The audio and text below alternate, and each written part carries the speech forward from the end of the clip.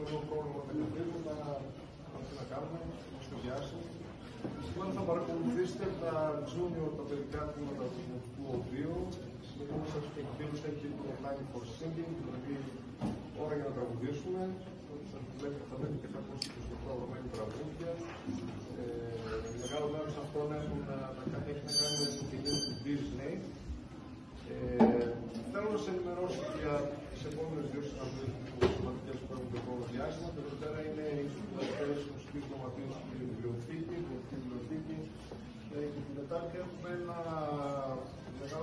θέαμα στον Μάρκο Βαμακάρη, το Παραδοσιακό Σύνολο του Οδείου Κοζάνη.